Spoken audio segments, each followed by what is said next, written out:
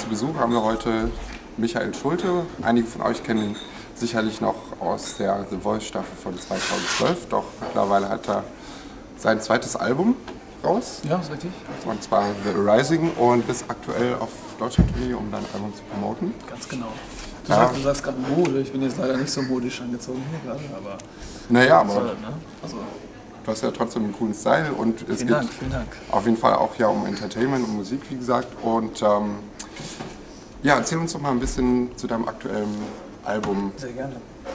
Äh, du hast schon gesagt, das heißt The Rising. Wir haben jetzt zwei Jahre daran gearbeitet, ähm, haben das in Berlin aufgenommen. Ähm, und das ist, glaube ich, sehr, sehr schön geworden. Wir haben uns äh, wirklich Zeit gelassen, haben sehr viel ausprobiert, ähm, haben sehr detailreich auch gearbeitet. Und äh, ja, jetzt kann man da reinhören und wir präsentieren das Ganze hier in Deutschland. Äh, Zwölf Konzerte spielen wir gerade. Meine Band ist dabei und äh, jetzt heute sind wir in Köln. Sehr cool.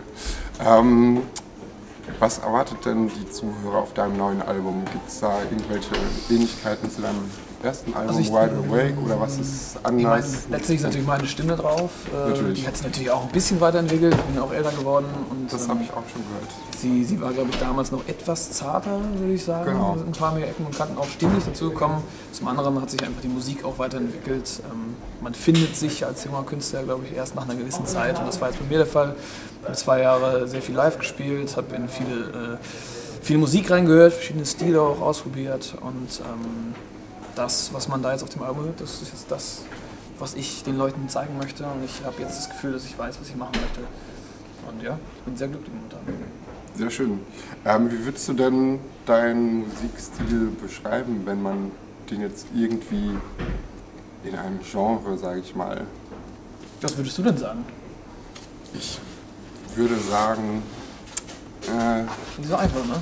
ja, es ist eine Mischung aus natürlich Singer-Songwriter, dann ein bisschen Country-Einflüsse, meine ich gehört zu haben. Folk. Country würde ich, ich glaube, wäre so ziemlich das Einzige, was ich jetzt nicht unbedingt benennen würde, außer, ich meine, es gibt viele Stile, die da auf jeden Fall nicht zu hören sind. Country würde ich jetzt nicht unbedingt sagen. Ich sage immer so eine Mischung aus so Pop, Singer-Songwriter, Alternative, ein paar Rock-Elemente auch. Ähm, aber so einen genauen Stil jetzt zu benennen, ist immer sehr schwierig. Man, Ja, na klar, So, keiner möchte sich in eine Schublade packen lassen, aber das ja, so genau. eine- Wie gesagt, ich habe ja auch in viele verschiedene Künstler reingehört und man nimmt halt von, von verschiedenen Leuten auch Einflüsse. Und ähm, ja, also ich meine, wenn man es jetzt überordnet, ist es auf jeden Fall noch Pop, denke ich mal, aber auch mit vielen verschiedenen Einflüssen von anderen Stilen. Was äh, inspiriert dich denn zu deiner Musik? Gibt es da irgendwelche Künstler, dich inspirieren oder beziehst du deine Inspiration eher aus bestimmten Lebenssituationen? Also der Inhalt meiner Musik, also Texte, also das sind alles Sachen, die ich selbst erlebt habe, die mich berühren, das sind alles authentische Texte. Musikalisch gibt es ein paar Künstler, die ich äh, total abfeiere, wie zum Beispiel Ben Howard oder London Grammar finde ich super, James Blake, Alt J. Da gibt es viele großartige Musiker, auch jetzt eine neue Band, die ich äh, für mich entdeckt habe, Half Moon Run heißen die. Es gibt schon äh, einige, eine Leute, einige Leute, die mich da ein bisschen inspiriert haben in einer gewissen Art und Weise. Ähm, und Ben Howard ist für mich so der große Held. So. Und ich äh, habe leider jetzt das Pech, dass er heute, weil er auch in Köln spielt, und ich nicht hingehen kann. Hm. Das ist natürlich ein bisschen doof. Und er ist halt jetzt, ich glaube, er spielt fünf Konzerte in Deutschland und bin ich selbst auf Tour und kann nicht auf die Konzerte gehen. Das ist ein bisschen schade, aber ja, beim nächsten Mal. Okay. Ähm, was ist denn deine Herangehensweise, wenn du einen Song schreibst? Hast du da, keine Ahnung, wachst du da manchmal nachts auf und hast eine Idee oder es manchmal eine, eine. Gibt es auch, ja. Also es, es kommt auch manchmal vor, dass ich äh, irgendwie eine Melodie äh, ähm, im Kopf habe und dann schlaftrunken irgendwie versuche, was ins Handy einzusingen. Das klappt dann meistens gar nicht so gut. Ähm, es gibt auch Textideen, die ich teilweise dann plötzlich irgendwie im Kopf habe, mitten im Schlaf und die schreibe ich dann auch äh, auf. So generell ist es so, dass ich meistens mich mit der Gitarre hinsetze und äh, erstmal auf ein paar Gitar äh, Gitarrenakkorde rumspiele. So. Ich suche mir irgendwie ein paar Akkorde, daddel darauf rum, dann singe ich dazu irgendeine Melodie, irgendeinen Gaga-Text. Im ganzen Schluss kommt bei mir dann der, der Text. Ich überlege, okay, was löst das jetzt gerade in mir aus? So diese Akkorde zusammen mit dieser Melodie, die ich dann da singe. Und äh, da schreibe ich dann im Text drauf, wie gesagt, irgendwelche Sachen, die mich halt bewegen in dem Moment vielleicht gerade oder die mich äh, vielleicht auch äh, ein paar Jahre zurück auch irgendwie bewegt haben. Und ähm, ja, das hört man jetzt alles auf diesem Album.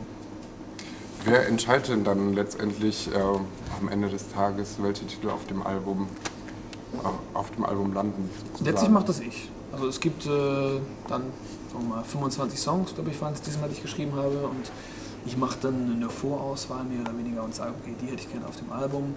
Und ähm, jetzt bei den beiden Alben war das äh, immer so, dass die gesagt haben, cool, ja, sehen wir eigentlich ganz genauso. Ich meine, man hört ja auch, welche Songs wirklich gut sind und ähm, welche da eigentlich am besten drauf sollten. Und das war auch wieder der Fall. Jetzt haben wir 13 Songs da drauf und ähm, alle sind happy. Und, ja. Ähm, wenn ich richtig in, informiert bin, hat doch der Ray auch einen Song für dein aktuelles Album? Nee, das war auf, Das war auf dem ersten auf Album. dem ersten, okay. genau, richtig, ja. Sind denn irgendwelche Kooperationen ähm, irgendwie geplant mit anderen Künstlern oder wer wäre denn zum Beispiel ein Künstler, mit dem du gerne vielleicht mal ein Duett Benauer würde ich jetzt auf jeden Fall nicht Nein sagen. Okay. Aber äh, ich glaube, das ist nicht so einfach. Wer weiß, äh, vielleicht früher oder später, vielleicht stehen wir zumindest mal irgendwann auf einer Bühne und man lernt sich kennen. Das wäre für mich auf jeden Fall eine große Ehre. Ähm, vielleicht hat man auch mal die Chance, zusammen zu schreiben, aber wird man sehen. Wir sind ja beide noch relativ jung, also ich denke, wir haben noch ein bisschen Zeit, uns zu finden. Das würde mich auf jeden Fall sehr glücklich machen. Ähm, ansonsten sind jetzt nicht unbedingt irgendwelche Zusammenarbeiten mit anderen Künstlern geplant bisher. Aber ich meine, ich würde sowas schon auch mal machen, wenn sich da irgendwas anbietet und das auch passt musikalisch. Ja. Ja, klar.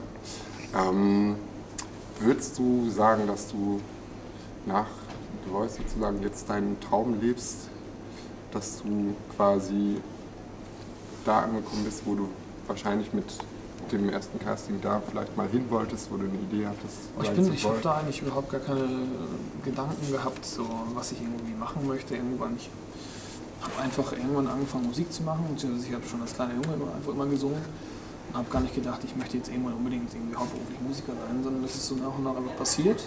Und es ist natürlich großartig, dass ich äh, jetzt davon leben kann, von dieser Sache, die ich einfach auch liebe. Und wie gesagt, so dieser Weg zum, zum äh, hauptberuflichen Musiker, das ist einfach passiert. So. Und ich genieße das aber natürlich total, bin sehr glücklich damit. Ist auch kein einfaches Business. Also äh, es macht natürlich Spaß, aber es ist auch sehr anstrengend, es ist auch sehr unstetig. Ähm, aber insgesamt bin ich doch sehr glücklich. Hast du denn manchmal auch äh, noch Zweifel? Das dass- auf jeden Fall. Ich glaube, jeder Musiker hat irgendwie Zweifel. Und wie gesagt, es ist wirklich kein, äh, kein leichtes Pflaster hier, was, was Musiker so machen. So, es ist wirklich anstrengend und gerade auch diese Zweifel sind einfach immer da, weil du einfach eben nicht diese Städte hast. Du gehst nicht irgendwie um 8 Uhr auf äh, Arbeit und gehst um 16 Uhr nach Hause und schaltest den Kopf aus, sondern du bist ja irgendwie mehr oder weniger dein eigener Herr, was ja irgendwie auch nett sein kann, aber auch auf der anderen Seite sehr, sehr anstrengend, weil du immer schauen musst, wo bin ich in zwei Jahren, wie läuft das mit der Musik, kann ich von der Musik noch leben in fünf Jahren und so. Und von daher, ähm, ja, es ist auf jeden Fall nicht einfach.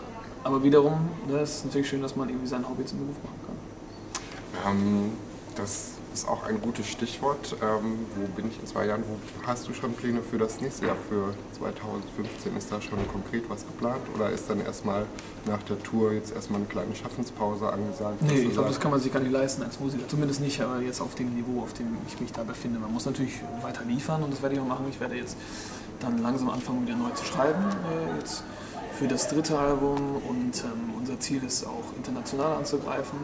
Wir haben schon Radio-Airplays in, äh, In England. in England, Genau, in auch äh, Amerika und die Musik ist ja auch äh, international und das ist halt das, was wir jetzt versuchen wollen und ähm, hoffen, dass wir da ein bisschen Erfolg feiern können. Alles klar. Dann wünsche ich dir auf jeden Fall viel Danke Erfolg. dir fürs Interview. Sehr gerne. Ciao, ciao. Und bis bald.